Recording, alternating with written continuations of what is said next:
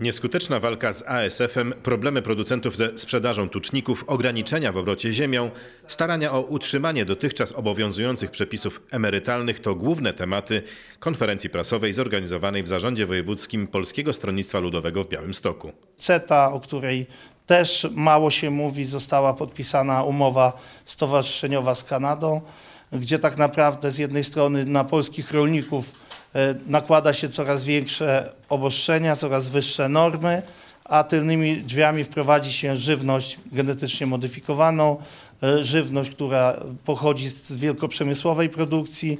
Jak mamy przekonywać naszych tutaj mieszkańców, konsumentów, żeby wybrali polską zdrową żywność, jak wiemy, że w wielu przypadkach to decyduje cena o wyborze danego produktu.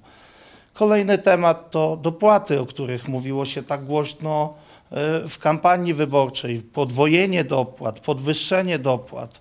Okazuje się, że w tej kwestii nic nie zostało zrobione, a jeszcze tym bardziej boli nas fakt, że rolnicy, którzy produkują ciężko, ci, którzy mają produkcję nie tylko roślinną, ale i zwierzęcą, otrzymają mniej pieniędzy w tym roku. Stawki są za wiele tych e, s- płatności niższe.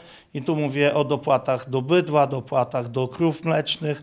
Te stawki są niższe niż w roku ubiegłym, a dodatkowo został zmniejszony maksymalny, maksymalna wielkość e, w gospodarstwach z 30 sztuk na 20 zarówno przy bydle, jak i mm, przy, przy mm, krowach, które wytwarzają mleko. W spotkaniu uczestniczyli samorządowcy, rolnicy oraz przedsiębiorcy zajmujący się przetwórstwem rolno-spożywczym. Poseł Mieczysław Baszko zaapelował do ministra rolnictwa o większą skuteczność w rozwiązywaniu problemów rolników. Dotyczy to m.in. zniesienia ograniczeń w produkcji energii odnawialnej oraz utrzymania wieku emerytalnego rolników na dotychczasowych zasadach.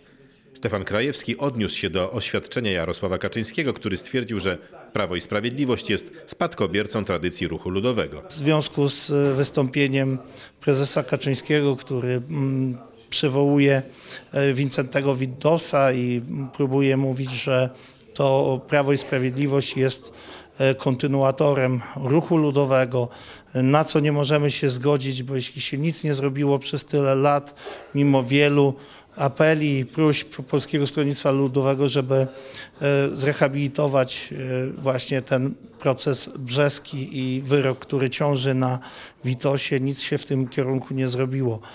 E, Też nie jest tak, że wieś w tej chwili cieszy się z tych zmian, które zostały wprowadzone, tylko wielu e, mieszkańców wsi, którzy głosowali na Prawo i Sprawiedliwość, dzisiaj po prostu wstydzi się tego i nie chce jeszcze może oficjalnie wypowiadać się, ale mamy pierwsze sygnały o planowanych protestach i myślę, że to będzie się pogłębiać, bo widzimy, że jest premiowana e, wsparcie socjalne, jest premiowane tylko to, że ktoś posiada ziemię, natomiast e, tutaj najbardziej odczuwają e, negatywne skutki rolnicy, którzy prowadzą działalność taką intensywną, chcą rozwijać swoje gospodarstwa i o tym będziemy mówić. Jest wiele problemów, które dotykają rolników, podlaskich rolników. O tym e, mówimy głośno, bo sytuacja naprawdę jest niepokojąca.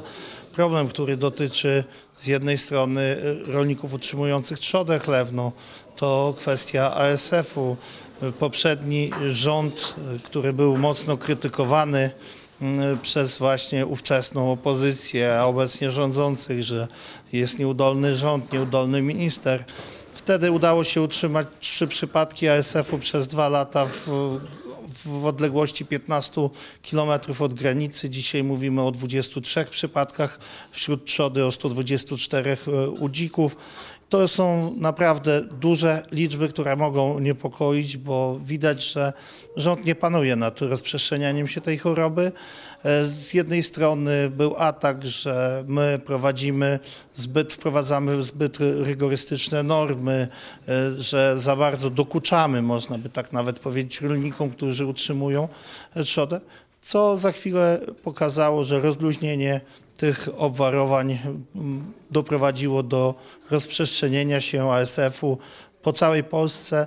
E, Dzisiaj jeżeli mówimy o posterunkach policji, które e, pilnują, żeby sztuki z ASF-em nie zostały rozwiezione po Polsce, to, to jest tak naprawdę fikcja, bo stoją w, tych, w tym samym miejscu e, kierowcy poprzez CB radio, poprzez e, telefony porozumiewają się i ostrzegają, gdzie taki punkt jest, omijają i to jest, e, przynajmniej to zgłaszają rolnicy, że dla nich jest to duże zagrożenie, bo jednak jakiegoś tam e, nielegalnego obrotu no nie jest się w stanie wyeliminować zupełnie, bo wiemy, że to, jeśli takie sytuacje są, to to, to, to będą występować mimo mm, dużych i kar i, i, i, i takiego ostrzegania, że będą za to kary.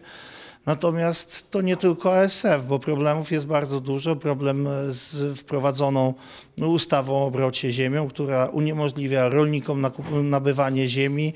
Y, Tych, którzy chcieliby nabyć z- od Agencji Nieruchomości Rolnych, wstrzymana jest sprzedaż, czy jest dzierżawa. Z drugiej strony rolnik, który chce kupić na terenie innej gminy niż na terenie tej gminy, w której mieszka, ma problem, żeby nabyć taką ziemię. Nie mogą też otrzymywać rolnicy kredytów, gdzie zabezpieczeniem byłaby ziemia, bo banki nie chcą udzielać takich kredytów. To nam sygnalizują też notariusze, że sytuacja w obrocie ziem, ziemią jest naprawdę tragiczna. Nie ma praktycznie obrotu ziemią. I to jest też problematyczne dla tych, którzy z jednej strony chcą powiększać swój, swój areał, ale też dla tych, którzy z jakichś e, powodów chcą zbyć to ziemię. Rolnicy mogą się zawsze zgłaszać do nas, do, do, czy do biura w Białymstoku, czy do biur w, w powiatach, tam gdzie funkcjonują, ale my jesteśmy też otwarci na spotkania z mieszkańcami naszego województwa. Jeśli trzeba, to jesteśmy w stanie dojechać w każde miejsce, do każdej wioski i o tych tematach i problemach rozmawiać. Dzisiaj e, też e, rozmawialiśmy z producentami trzody chlewnej, którzy chcieli tu przyjechać, natomiast e, wojewódzki lekarz weterynarii zorganizował spotkanie w Mońkach i tam też część producentów pojechała, żeby rozmawiać. Być może jest to sygnał na to, że my już mówiliśmy, że będziemy takie spotkanie dzisiaj organizować i być może ktoś próbuje nas uprzedzić, ale będziemy to, co zapowiadałem już wcześniej, będziemy tę pracę organiczną u podstaw robić, kontynuować, spotykać się i rozmawiać o realnych problemach. Stefan Krajewski zapewnił, że w związku z trudną sytuacją panującą w rolnictwie Polskie Stronnictwo Ludowe będzie interweniowało w rządzie i parlamencie tak, aby producenci żywności ze swoimi problemami nie pozostali sami.